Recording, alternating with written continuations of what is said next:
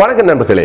நாம் தமிழர் கட்சியைச் சேர்ந்த துரைமுருகன் அவர்கள் ராஜீவ்காந்தி நினைவிடத்துக்கு முன்பாக நின்று ஒரு காணொலி ஒன்றை டிக்டாக்கில் பதிவேற்றம் செய்திருக்கின்றார். அதை சிறிது நேரம் கழித்து அந்த பதிவை நீக்கிவிட்டார். காரணம் அந்த பதிவானது ஒரு நாகரிகமற்ற பதிவாக அவரே உணர்ந்திருக்கின்றார். ஆகவே அந்த பதிவை நீக்கிவிட்டார். ஆனால் இதை நாம் தமிழர் கட்சிக்கு பிடிக்காதவர்களும் ஊடகங்களும் அந்த பதிவை பதிவிறக்கம் செய்துவிட்டு அதை செய்தித்தாள்களிலும் வலைத்தளங்களிலும் பரப்பிய வண்ணம் இருக்கிறார்கள்.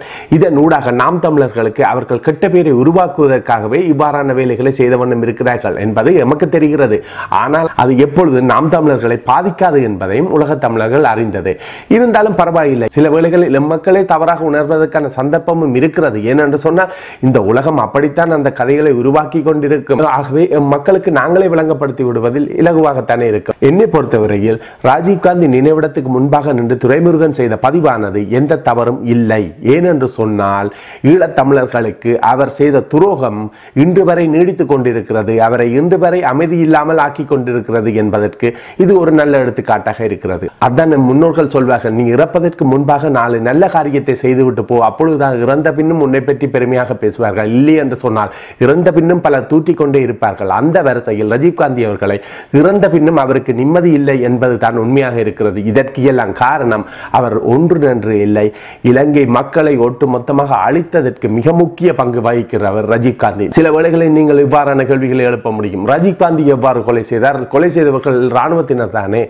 கொலை செய்தவனை விட கொலை செய்ய தூண்டியவனைத்தான் உண்மையில் சட்டம் தண்டிக்கும். ஆகவே கொலை செய்தவனை விட கொலை செய்ய தூண்டியவனாகிய ராஜீவ்காந்தி அவர்கள்தான் உண்மையில் கொலைகாரன் என்பது உலகம் அறிந்த விடயம். ஆகவே என்னை பொறுத்தவரையில் துரைமுருகன் பேசியதோ அந்த டிக்டாக் காணொலியோ தவறே இல்லை என்பதுதான் எனது கருத்து. இருந்தாலும் இப்படியான பதிவுக்கு அவர் வருத்தம் தெரிவித்து ஒரு பதிவையும் வெளியிட்டு இருக்கின்றார். ஏனென்று சொன்னால் யார் மனதையும் புண்படுத்துவது நாம் தமிழர் கட்சியினுடைய நோக்கம் அல்ல. ஆகவே அதை கூட தான் ஏற்றுக்கொண்டு ஒரு பதிவொன்றையும் வெளியிட்டிருக்கின்றார் அந்த பதிவை இரண்டு பதிவுகளையும் உங்களுக்காக இந்த பதிவிலேயே நான் வழங்குகின்றேன். அந்த பதிவுகளை பார்த்து நீங்கள் விளங்கிக் கொள்ள வேண்டும் என்பது எனது தாழ்மையான கருத்து.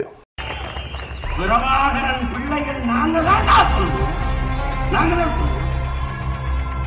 எங்க இனத்திற்கு ஒரு பெருமை இருக்கு. நீ எப்பேற்பட்ட கொம்பனாவும் கொம்பனாவது நீ எந்த நாட்டின் அறிவனாவும் அறிவனாவது என் இனத்தை தொட்டா உன்னை தூக்கம் இதுதான் அவர் செய்த அந்த பதிவானது. இப்பொழுது இதற்கு வருத்தம் தெரிவித்து இன்னொரு பதிவையும் வழங்கி இருக்கின்றார் இந்த பதிவை எப்பொழுதுமே எந்த ஊடகமும் காட்டாது என்பது உண்மை. இருந்தாலும் மக்களுக்காக நாங்களே அதை கொண்டு போய் சேர்க்க வேண்டியது நாம் தமிழர் கட்சியினுடைய மற்றும் நாம் தமிழர் சார்பாக செயல்படுகின்ற ஊடகங்களுடைய கடமை. ஆகவே தான் இந்த பதிவை உங்களுக்கு வழங்குகின்றேன். இந்த பதிவையும் நீங்கள் பார்த்து விடுங்கள். போயிருக்கும் பொழுது ராஜீவ்காந்தி அவர்களுடைய நினைவிடத்தில் ஒரு டிக்டாக் வீடியோ பண்ணியிருந்தேன். நான் அந்த வீடியோ வெளியிட்டு சரியாக ஒரு மணி நேரத்தில் அந்த வீடியோவை நான் டெலிட் பண்ணிட்டேன். இது தவறு இது பண்ணக்கூடாதுன்னு சொல்லி நான் டெலிட் பண்ணிட்டேன். ஆனால் அதுக்கு முன்னாடி நிறைய பேர் அதை டவுன்லோட் பண்ணி சமூக வலைதளங்களை பரப்பியிருக்காங்க. உண்மையிலேயே ராஜீவ்காந்தி அவர்களையோ அவருடைய நினைவிடத்தையோ கொச்சைப்படுத்துறதுக்காக என்னுடைய நோக்கம் கிடையாது அசிங்கப்படுத்த என்னுடைய நோக்கம் கிடையாது. இது என்னுடைய தனிப்பட்ட முறை நான் சாதாரணமாக ஒரு விளையாட்டுத்தனமாக பண்ணது. அங்கே போயிருந்தோம் சரி எடுத்தேன்.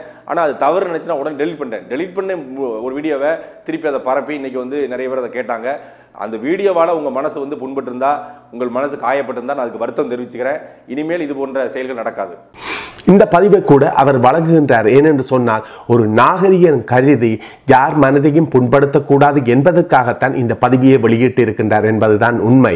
அதை விட்டுவிட்டு சிலர் நினைக்கலாம் அவர் பயந்து விட்டார் எவருக்கு ஏதாவது சட்ட சிக்கல்கள் வந்துவிடுமோ அதற்காகத்தான் இவ்வாறான பதிவை விட்டார் என்று. அப்படி இல்லை. நாம் தமிழர்கள் ஒட்டுமொத்த உயிர்களுக்கும் சொந்தக்காரர்கள். ஆகவே யார் மனதையும் புண்படுத்த ஆசைப்பட மாட்டார்கள். அதற்காகத்தானே தவிர எவனுக்கும் அஞ்சி அல்ல என்று கூறிக்கொண்டு. நண்பர்களை மீண்டும் இன்னும் ஒரு பதிவை சந்திக்கும் வரை உங்களிடம் இந்த விடைபெறும் நான் ஜீவன்